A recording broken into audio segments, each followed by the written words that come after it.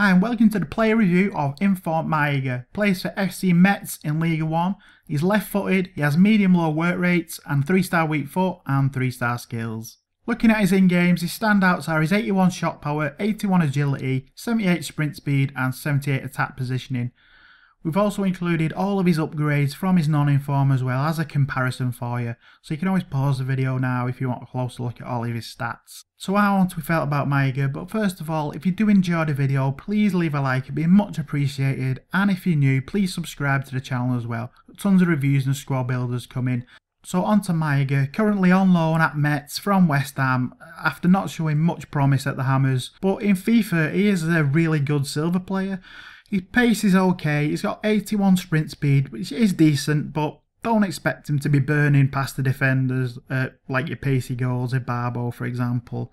It is good enough to cause the defence problems, but he's not going to be burning away every single time. And his dribbling is only average, but it does help with him having 81 agility, which helps out as well, getting him past the defenders.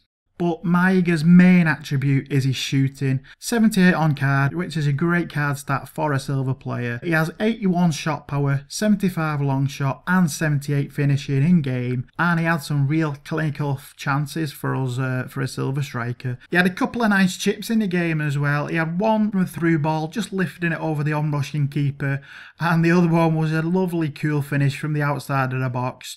Just chips it over the keeper, just creeps under a bar, leaving the keeper standing. So a great finish from Maiga. He did also finish well in the air as well. He did get on the end of a fair few crosses in the box and managed a few goals with his head. Despite only having 73 jumping and 71 header accuracy, he was getting up there for a lot of headers. As you'll see in the clips, he scored quite a few on his head. And he does also have this nice flare finish past the keeper as well. Ends the run with a flare shot.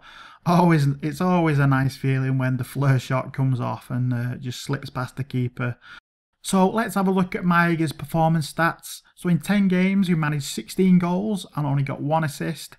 All of his stats are down the left hand side, goals are on the right, and there's a position map bottom right showing all of his goals and assists where he's been scoring from.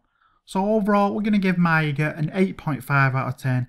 Great silver striker for a Ligue 1 side and will probably be very underused as well. He's got great shooting as we said for a silver player and he performed great and we were using him in our Mali team that we are doing a Mali squad builder as well. So great little player, can't complain too much about him, didn't really have any negatives. Saying that we're going to move on to his positives and negatives. Positives are he's got decent pace, He's got great shooting, as we said. He's got good agility for a fairly big man, 81 agility. And for us, he was a great aerial threat, finishing with his head as well. And he's got his great finishing, as you can see, with his decent chip shots.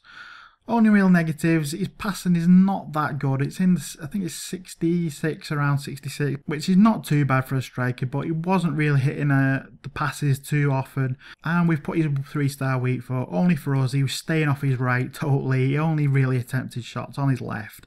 So it's best to pray him on the right if you can. So he's highly recommended you go and pick him up, especially if he creeps under 20k as well.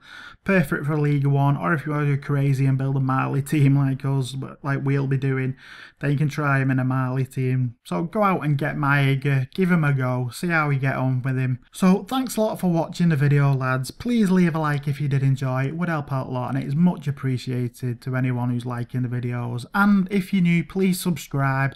We've got tons of stuff coming up. We're going to do tons of squad builders and we try and make them as informative as we can. Like, like we do in the reviews, try and give you a lot of stats to show you about the player and the squad. So stay tuned for all Cheers, lads, and peace.